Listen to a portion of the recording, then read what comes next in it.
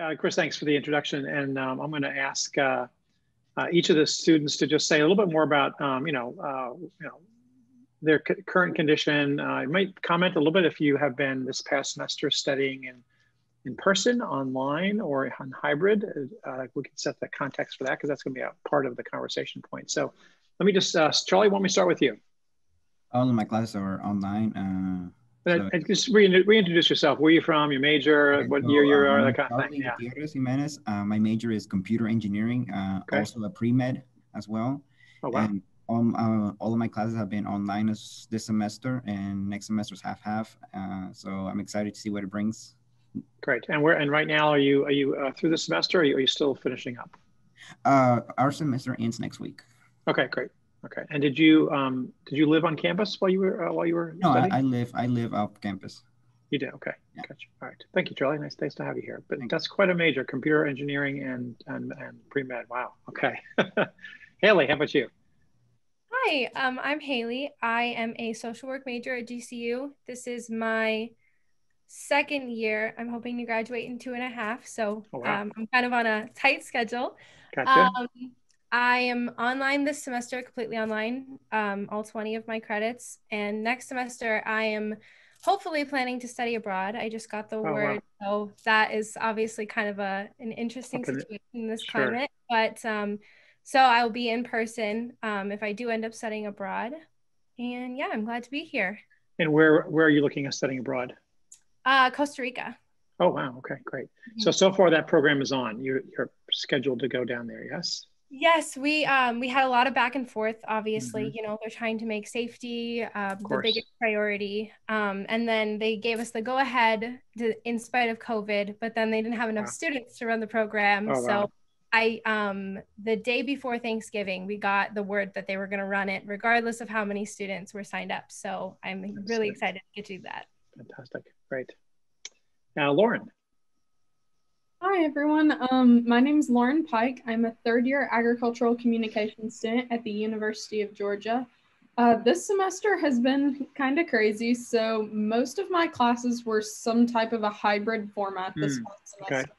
Um, so, it kind of varied. One was completely online um, with like no live lectures or anything, mm-hmm. just completely online kind of web reading style two of my courses were in person and online. So the professor taught in person for anyone that wanted to go, but it was encouraged that you do it mm-hmm. on Zoom. And then mm-hmm. one day a week, we all went and did like hands on activities and things gotcha. like that. Um, one of my courses, I actually took a PE course this semester. Oh, so wow. in person.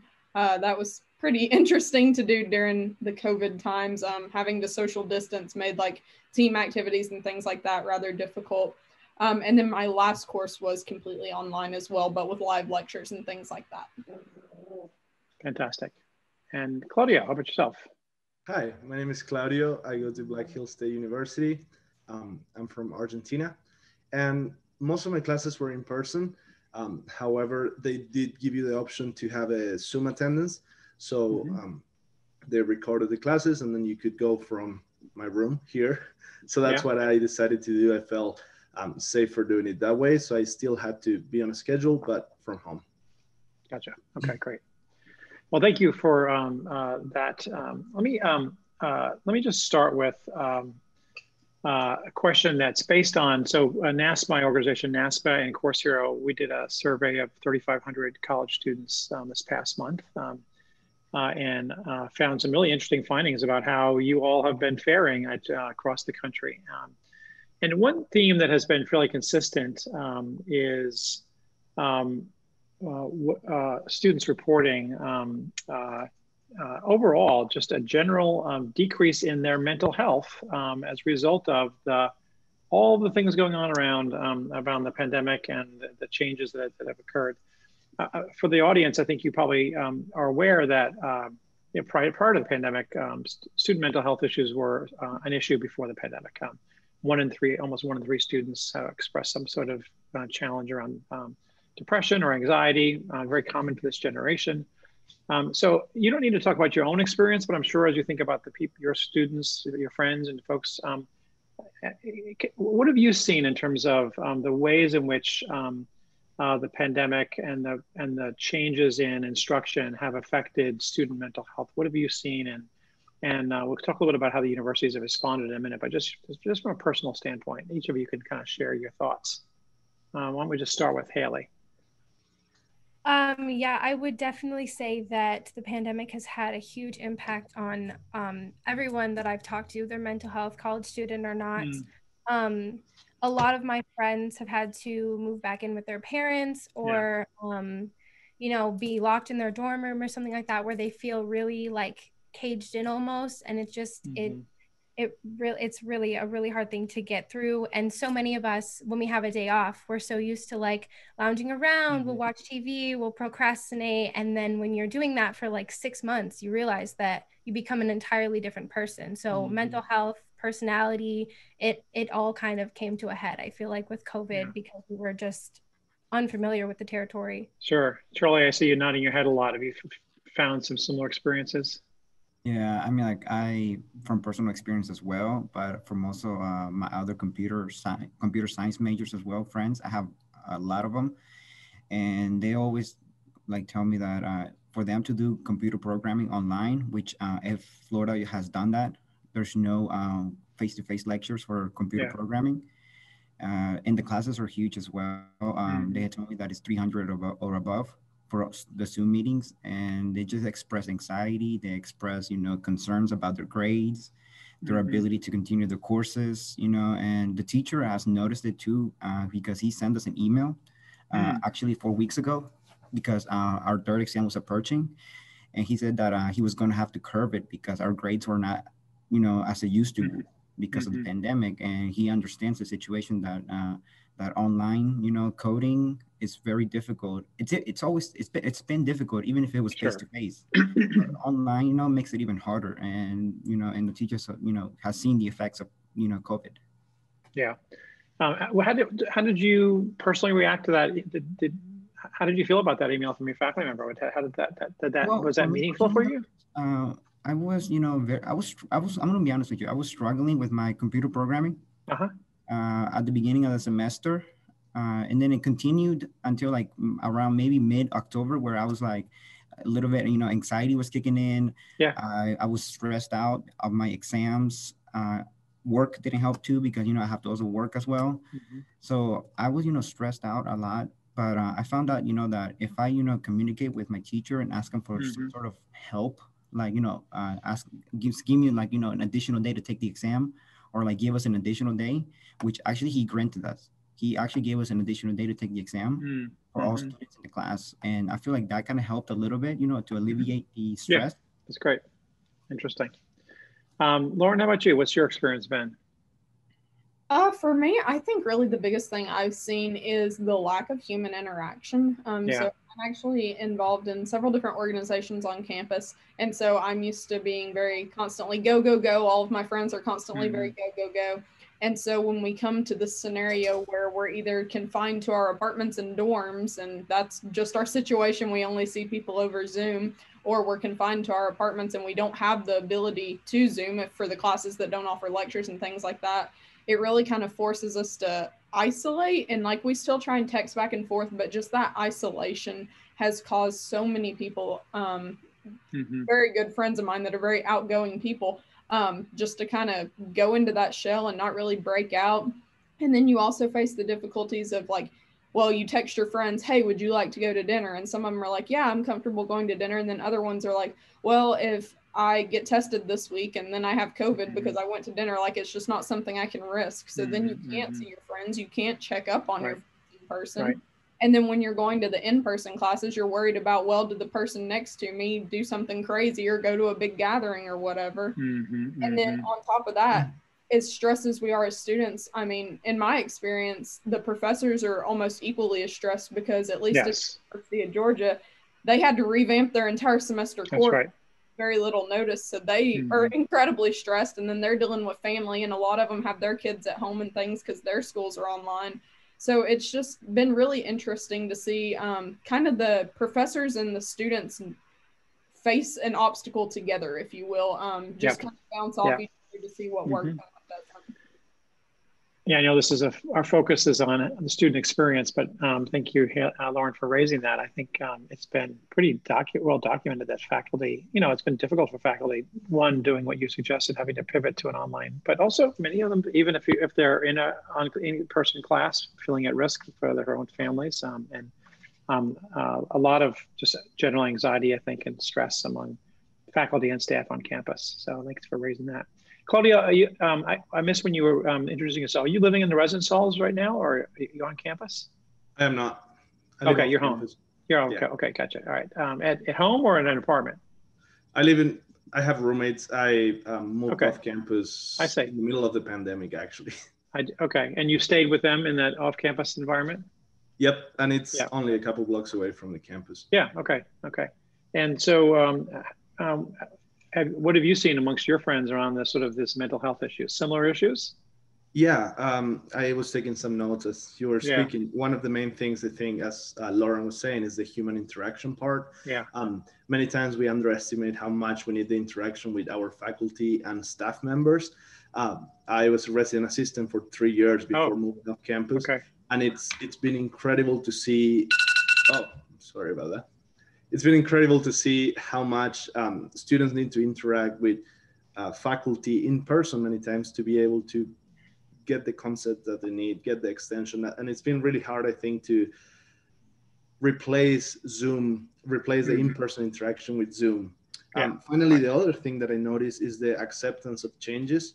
Many students are hesitant because they were sold something else a year ago when they um, right. decided to attend a certain university. So now they come and it's hard for them to understand why why there's not activities going on on campus and mm-hmm. why they can go watch a football game um, or why they have to take their meals in the room. Um, so I think the acceptance to change has been a big factor in in, in yeah, the so stress and anxiety that students mm-hmm. get. Mm-hmm. Yeah. So um, I can tell you that every one of your universities has thought about mental health issues. Um, so they have, um, you know, uh, the counseling center. They provided more. There's more virtual counseling. All these things. All these things are happening on campus. But I guess I want to ask you though: do, do you feel like the university has? And it's not to critique your university, but could they have done more to sort of um, created? Uh, uh, awareness for you of, of resources that are available for um, for helping students? I'm Just curious.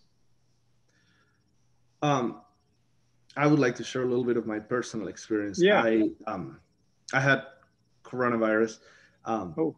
a couple of months ago, and you know what the CDC guideline says: um, after 10 days of no symptoms, you're able right. to go back to normal. But I think the main thing is that you don't always go back to normal um, even past the 10 days I, I have plenty of people tell me that they feel like they're not there as much uh-huh. as they uh-huh. wanted to be uh-huh. Uh-huh. so it's very hard for faculty and staff i think to to be flexible to guidelines that many times the administration doesn't really tell you to follow um, so the 10 days after the 10 days they were like okay well now you can come back to class you can come back to your internship but how do i explain to them that it's been 10 days, but I'm, I'm really not ready to go mm-hmm. back. Mm-hmm. Um, so I wish there was a little bit more support on that side in the matter of yeah each each case is different and, That's and right. we, we can I mean yes uh, younger individuals have less chances of, of getting COVID to a degree in which they need hospitalization,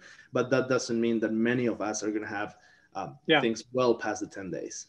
Yeah, I mean the, the COVID fog they've they call it, um, yeah. which is what you're addressing, has been you know um, documented in the medical community. So uh, that's sort of interesting. Um, um, I, I, noticed in the chat, uh, uh, one of the uh, attendees said she starts her class every class with a short mindfulness activity, which I think is awesome. Um, um, I, I, guess uh, have you are there any standout things that faculty have done in your class? I mean, um, Charly, you mentioned that uh, a little bit more flexibility on, on exams and that kind of thing. Are there some other examples that we could tell the faculty on this call, like what, what has been working for you? What do you wish was happening um, on, in the class? Any examples that you could share? So, um, so this is my first semester at UF. I transferred from a community college. Okay. So my previous school, um, what they did is they hired um, temporary uh, workers to serve as counselors. So that way they have more people, you know, accessible instead of having, you know, a certain amount of group people being overloaded. because they had that issue. Uh, I was in student government back in my community college, and we we discussed this on this uh, on our student online senate meeting that a lot of the counselors were overrun, they were overloaded. Yeah. So our response was to like hire temporary workers for them to mm-hmm. be less, you know, stressed, and more students can get you know the help and attention that they need, so they can be so they can you know be successful in the throughout the you know entire of the semester. Because I noticed that students don't get help, and you know, they tend to know not, not do well in their courses. You know, it can impact yep. their ability, you know, to succeed right. later on. And yep.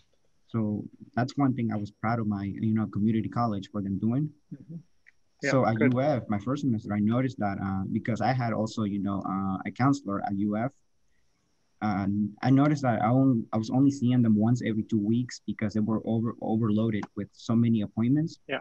Yeah. And you know, once every two weeks is you know it's it's good. You know, I mean, like, I would still take it yeah. because you know still some help, but it's not you know. I feel like they should you know do the same thing you know and hire more temporary workers. And also, you know, it helps the community because you're also you know giving employment to people who are you know who need it as well. So. Sure. Yeah, I can tell you that uh, over the last five, ten years, that colleges have really struggled with create, having enough counselors to meet the demand as the as the mental health issues have come up. One of the things that we won't dig into here, but um, that the uh, there's more opportunities for telecounseling, so you can actually do something from your computer, which isn't necessarily always as good as in person, but at least gives you some of that contact. And many of the universities are are doing that. Um, so one of the things that um, I'm just curious is one of the findings of our survey, which was uh, consistent with some other surveys, is that um, we've uh, that students are reporting, and I'm not going to ask you to identify this behavior for you, but maybe the people you know. But students are reporting that they are drinking less, binge drinking less, and using marijuana less in the pandemic. Now that might be because many of you are home and it's not as cool to do either one of those things when your parents are upstairs. But in general, I'm just curious, have you noticed a change in behavior of students? And then actually when the other part was that as the students were in the survey we did, are actually say they're spending more time on classwork than they did before, more time on homework, more time studying. Curious if that has been your experience, not on the, you know, you don't have to comment on the alcohol and marijuana for yourself, but have you seen any changes in student behaviors? Um, personally, I'd kind of love to touch on that as well as your last question to kind of time together. Um, I even saw someone asked in the chat about making assignments shorter. So yeah. one of the things I love that my professor did um, was she gives us days where we have scheduled class time and lets us work on assignments like semester long assignments during those time periods.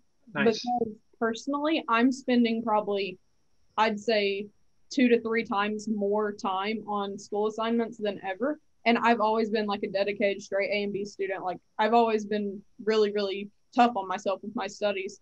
But this semester in particular, I get up at about nine o'clock in the morning. I sit in front of my computer on Zoom meetings until about four o'clock. At four o'clock, I'm done. So that's basically a work day right there, a little short of a work day because I don't even take an hour for lunch. It's Zoom back to mm-hmm. back to back. But then when I get done at four, I would love to, you know, go do something for a hobby, go out, go shopping, go try and see friends if that's possible, try to do something. But instead, I have three papers I need to write, videos I need to edit as a communication student, and so then four o'clock rolls around. It's like, okay, well, I'm still sitting in front of the computer screen until nine o'clock at night. Well, that's 12 hours every single day that I'm sitting in front of a computer. Mm-hmm. Not to mention, mm-hmm. I'm a student worker working remotely. So the days I don't have classes, because that's my Monday, Wednesday, Friday schedule. Well, Tuesday, Thursday, I work from nine o'clock in the morning until 2 p.m. in front of the computer. And then again, I've got all that homework that is on the computer. It's typing papers, editing videos. And even though I'm a communication student, I'm seeing that in all of my friends. Um, I have friends that are athletic trainers, that are education majors, and all of us are looking at spending upwards of 10 to 12 hours in front of a computer screen. And so mm-hmm. then not only the mental issues that causes just the stress and anxiety, kind of like what was touched on, but like I can firmly tell you almost every single night I go to bed with a migraine. My eyes are dry, just those That's basic tough. things. Yeah. Looking at a computer. And so just having the professors being understanding and giving us those extra times to work and being understanding when they get mm-hmm. an email from a student. Mm-hmm. Um, yeah. Similar, I also had COVID recently um, over the oh, summer. Wow. Okay. And yeah. so uh, just understanding when that happens, we don't want to work on our coursework while we're sitting mm-hmm. here thinking, okay, I'm a statistic in the middle of a pandemic. Like sure, that's sure. we want to focus on ourselves and say like, I didn't do anything wrong to get this. Sometimes you take all the right steps and you still get it. And so yeah. having to convince yourself of that with yeah. professors sending all these assignments different ways. Um, so just really being flexible and giving students that in class time to work is something that yeah. I really yeah. Hailey, you're nodding very strongly on this. What's what do you what's what are you what are you thinking? I all of the above. I agree with all of it. I definitely think that um, what and I, am fully I understand that it's um, a, a challenge also for the professors. I would not I could not imagine mm-hmm. being a professor in this climate. Um, but I think what's difficult for the students that maybe in the beginning, and I know my professors are getting a lot better with it, but they were kind of treating us as in-person students and online students. They were expecting us to do basically double the work of attending the Zoom meetings, reading all the chapters, mm-hmm plus the online DQs, yeah. plus all the assignments. And so it kind of creates this thing of, well, I'm going to class, but then they're, you know, not really doing what we're supposed to be doing in class because we're all having technology problems or whatever. And then, mm-hmm. so that's an hour and a half gone. And now I have to sit and read the chapter. And then I have a thousand word essay to write or 3,000 mm-hmm. word essays to write. And so it just becomes this like compiling thing of where does it end? Um, yeah. so I, I, every Sunday mm-hmm. I'm, I work full time also. And so every Sunday I'm yeah. sitting in front of my computer from, I don't know, 7 a.m. to sometimes 10 p.m., 11 p.m., yeah. just because that's, that's what it takes to, to get all my homework done. Um, mm-hmm. and obviously, you know, some, some of that can't be helped. You know, the, the course sure. has its, um, it's the assignments that are benchmarks and things that must be done. And we have to, you know, do things to earn our grade. Um, but one of the things that one of my really good friends, she goes to a college in Wisconsin, and her professors have been so understanding of um, kind of the same thing that Charly touched on when he talked about, you know, um, being understanding. And if the student emails you, it's not, it's probably not an excuse, and it's something mm-hmm. about like there's there's something that came up or they have four essays that just got away from them um, or treating everything kind of by a case by case basis. It's um, it's being being hard and being strict and following all the rules right now. I think is a mistake. Um, I'm going to be honest because I don't think that um, treating everybody the same way right now is going to get us anywhere. Interesting. Okay, thanks for sharing that. We're going to shift gears here a little bit. Um, I know we've been talking about um, classes and and uh, and and this whole movement online and some of the mental health issues, that kind of thing. So good conversation.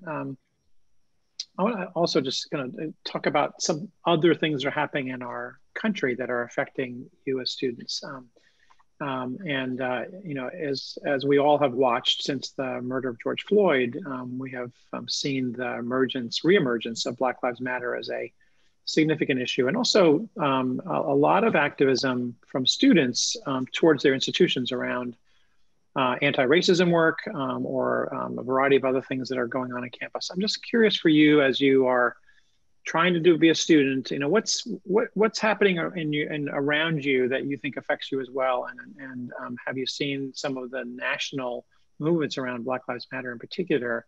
and also some of the um, issues around police reform. Has that has that has that bubbled up with you and your friends as a conversation point? How's that how's that um, going for you? Um, uh, Claudia, when do you start? Um, I think it has. Um, I would love to see more commitment from universities. I think sometimes it's easy for them to make a statement. Yep. Mm-hmm.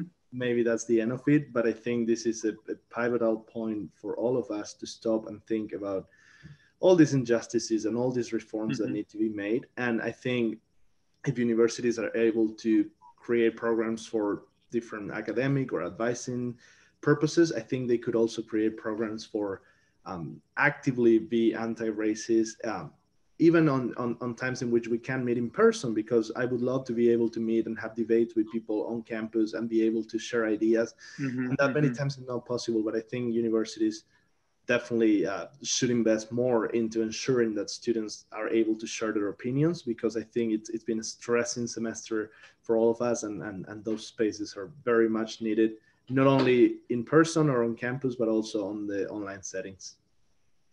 Yeah, Claudia, one of the things that I've heard from um, uh, university staff is that they have tried to create online spaces for these kind of conversations Um, but uh, you, as you just sort of went through, you're also zoomed out. That getting into another conversation on Zoom is probably not a lot of energy for that. So I think it's one of those interesting kinds of things. I think we'd like to engage students in these kind of conversations, but we know that you're also, you know, you spend your whole day on a computer, so it makes it a little more um, difficult. Um, uh, any any of the others of you have thoughts on on some of the activism that we see in this country and and how it has played into the your your role as a student?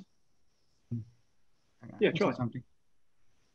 So uh, at UF, uh, I joined also student government, and as soon as we heard about George Floyd and you know, and the many other you know cases that happened after that, we decided you know uh, to go to the student body president and uh, and create a video, and a video for the student body to tell them that racism is not okay, and you know it's not part of our college experience, you know, and there's you know in you know college is supposed to be about you know diversity you know, welcoming everybody, all cultures, you know, knowledge, you know, backgrounds, everything, you know, and the video, you know, the purpose of it was for it to, you know, to teach, you know, other students, you know, that mm-hmm. it's, you know, to welcome everybody, you know, to like include everybody, you know, and be friends, be friendly, you know, and make everybody, you know, feel safe in campus or feel safe, you know, in the community.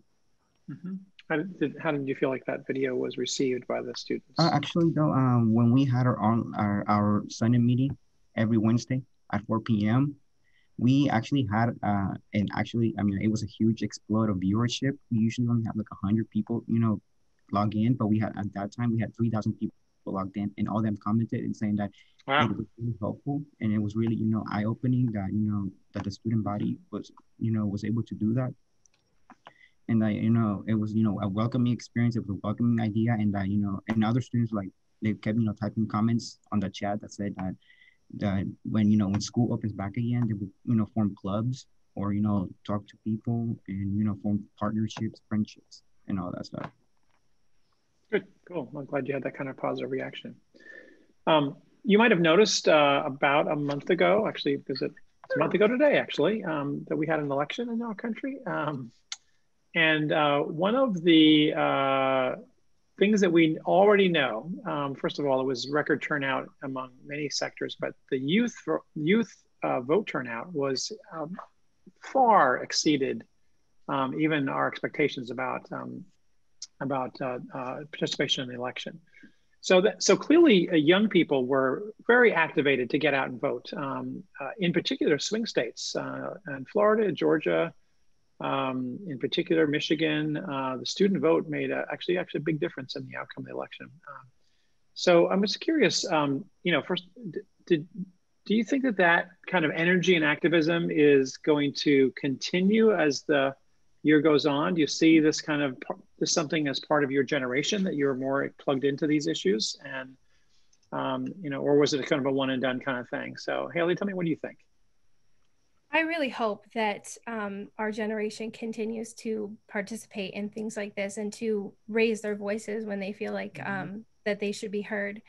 Because, um, I mean, I can only speak from my experience, my friends' experiences, but I know that we grew up in a time where um, we were always told that you know the adults are having a conversation um, it's time for the kids to go somewhere else and play and when we had an opinion we felt like we weren't allowed to to voice that mm-hmm. opinion and we've you know the four students on this panel we've come of age. Um, we have the opportunity now like so many others to to share what we think and to be a part of that adult conversation.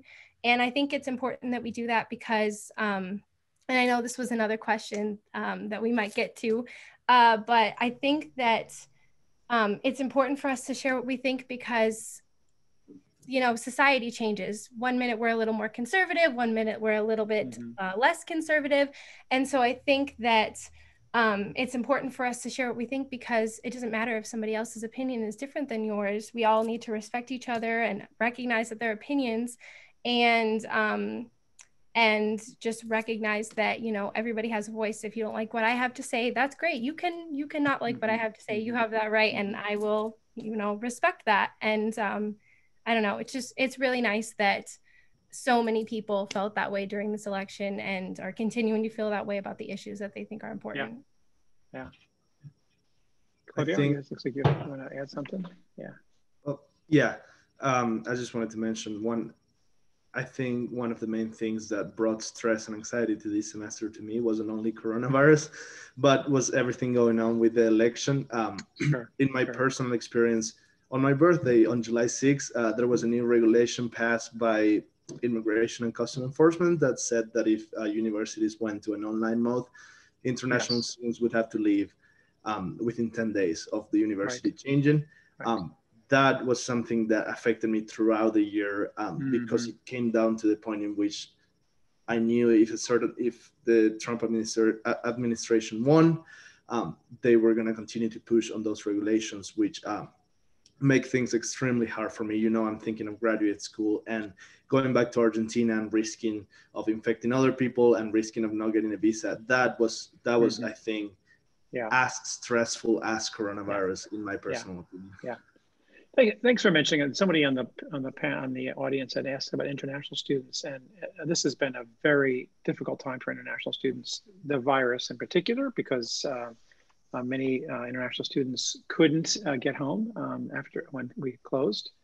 Uh, and uh, and uh, given the policies of the current administration, new visa, visas for new international students has been very challenging. We see now the international student enrollment is, a, is at a um, is at for, has declined for the first time in, in, a decade in the United States, and so we're seeing the impact of of, of that. And I also want to acknowledge uh, and uh, just while we're talking about this issue, that um, uh, the current administration's policy around DACA students as well has been also very, very challenging in terms of um, students who um, who uh, may not um, feel very safe um, being on a college campus and having their names identified, that kind of thing. So, just a, a, variety of things that add to that stress. So, Claudio, thanks for, for mentioning that.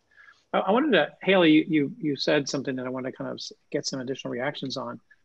Uh, first of all, uh, your generation, which I am so happy about, by the way, your generation is the most activist generation we have seen maybe since the 60s. Um, certainly, uh, maybe the 80s and the, in the uh, apartheid, anti-apartheid era. But um, your generation is very engaged in, in, in politics and in social issues, social justice issues. I think this is a very encouraging thing to see, not a lack of apathy, but actually real energy around that.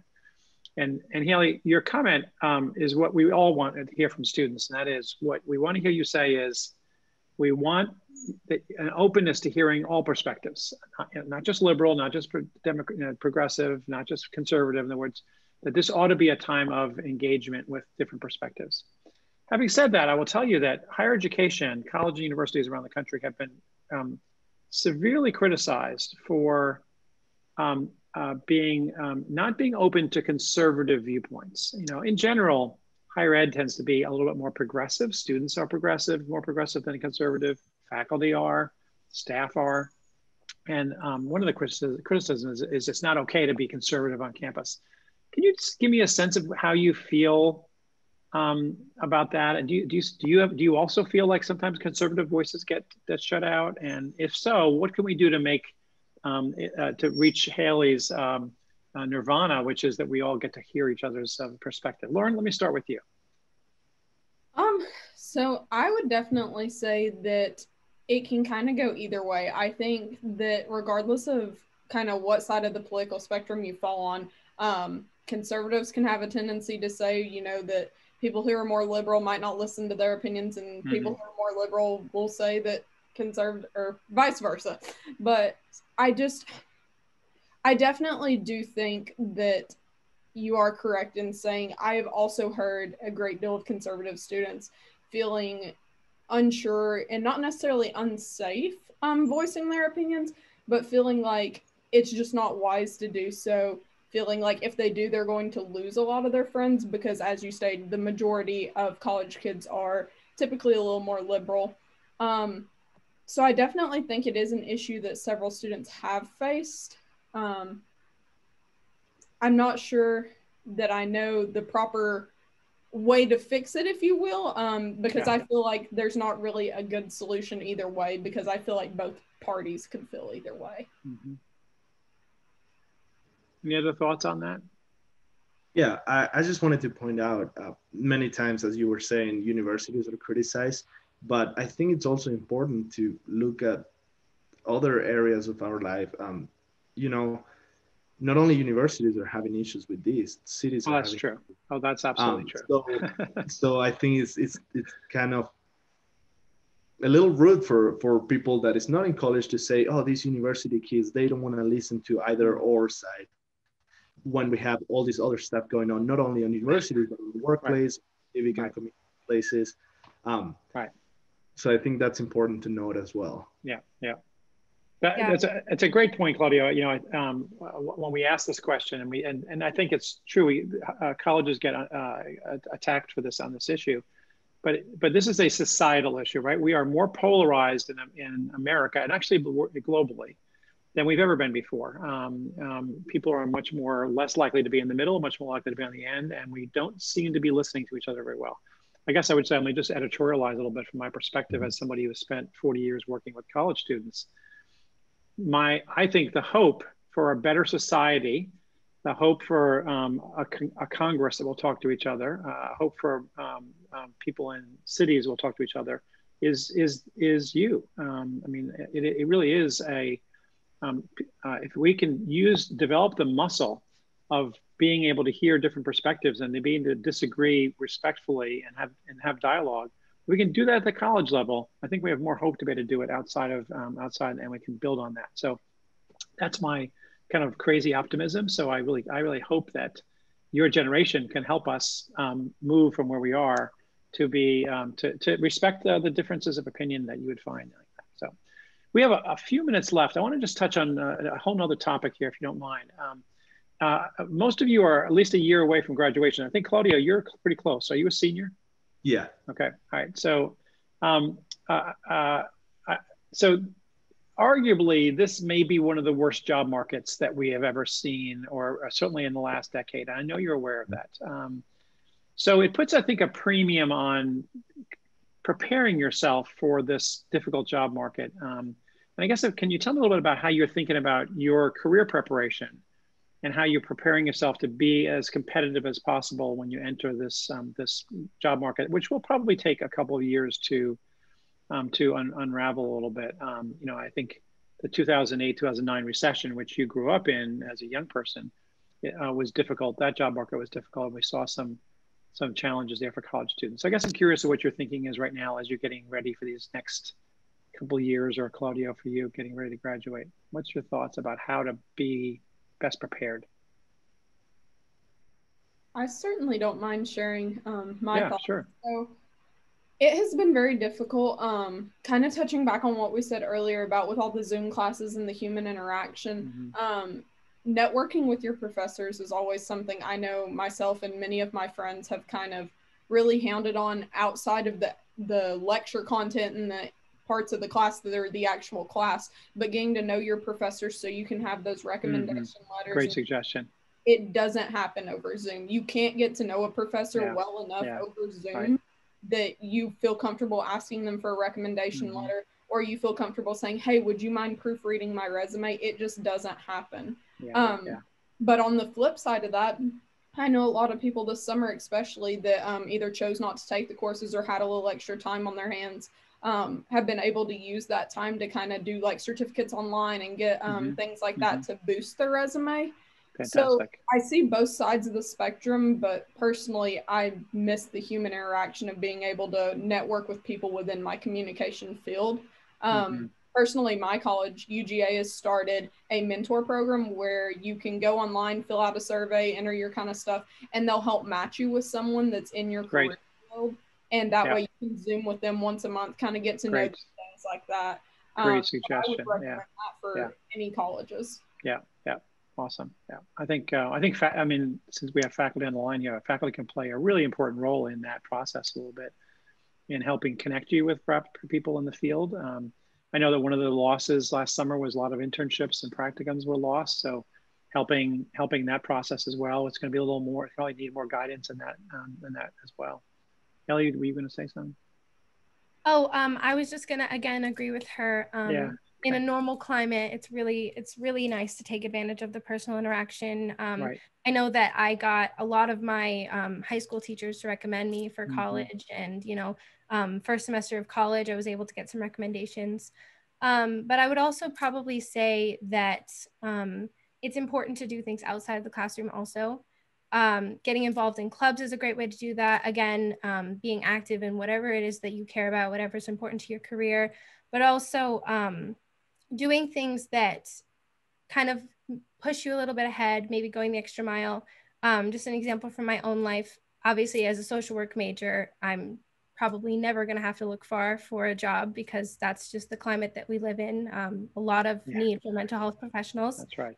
But um, I um, was given the opportunity actually. Um, so in the state of Arizona, we have something called DDD, um, Department of Developmental Disabilities. And so anyone that works with people in that climate for a year, um, they have that year of experience, then they can go out and get a job in social work without having a degree. So if anybody's interested yeah. in that, there's yeah. a tip right there. Um, but know. I actually had the opportunity to do that. I've been working with children with autism for the last year. And so that's just going to be something else that, in addition to my bachelor's degree, when I go on and get my master's degree, I'm always going to have that year of social work yep. experience before I even got my bachelor's. So that's just that's one great. thing that you can do an internship or something like that that um, not in the classroom that awesome. just bumps you up a little bit. Great. Well, we're out of time. We're out of time. It's been a great conversation. I want to just share one thing that uh, one of the uh, participants said as we were in the middle of this conversation, in case you missed it, and said, "You guys give us hope for a better future. Thank you for sharing your perspectives." There's been a lot of just really positive comments about your authentic responses to these questions. Um, you know, the way you're approaching this. Um, I think it gives all of us a little bit of an insight into what the experience has been like for um, students uh, in this very difficult time period. Obviously, we it's, it's hard on us, but we know it's been hard on, on you. And we look forward to, obviously, for all of us getting through this and getting back to what might look like a normal zone. But thank you to each of you. The best of luck to you. And thank you so much for taking some time out of what we know is a busy schedule um, to, uh, to share these perspectives. We just don't get a chance to hear from students this way very often. And uh, it, it was fantastic.